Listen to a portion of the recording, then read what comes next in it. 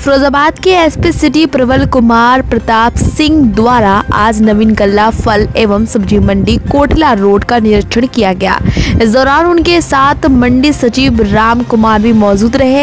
SP city प्रबल प्रताप सिंह ने निरीक्षण करने के दौरान मीडिया से बात करते हुए बताया कि रमज़ान के इन दिनों में किसी को कोई परेशानी ना हो, इसको लेकर फल एवं सब्ज़ी मंडी का निरीक्षण किया है। वैसे तो सब्ज़ी को लेकर बेहतर प्रयास चल रहे हैं और भी अच्छा प्रयास किया जा सके।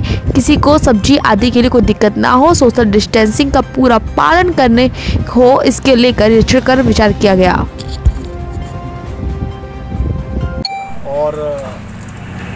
हड़ जो प्रॉपर तरीके से लगा करके सिस्टम फॉलो की जा रही है।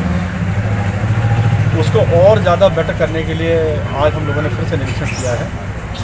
इसके अलावा चूँकि फल मंडी भी साथ में लगती थी तो फल मंडी को पूरी तरह से बंद करके शाम के समय लगाने का प्रयास किया जाएगा। एक डिमांड आई थी कि फलों का वितरण शाम को कराया जाए।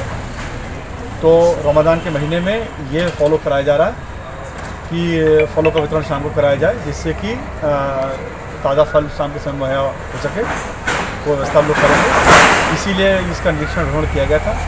इसके अलावा कुछ, इसको और ज़्यादा बेटर किया जा सके सोशल डिस्टेंसिंग और ज़्यादा अच्छे तरीके से फॉलो किया जा सके। इसके लिए कुछ हम लोग और नए प्रोविजंस कर रहे हैं, जिसका परिणाम आपको जल्दी देखते हैं। लेटेस्ट खबरों से जुड़े रहने के लिए देखें हमारा यूट्यूब चैनल करें लाइक शेयर सब्सक्राइब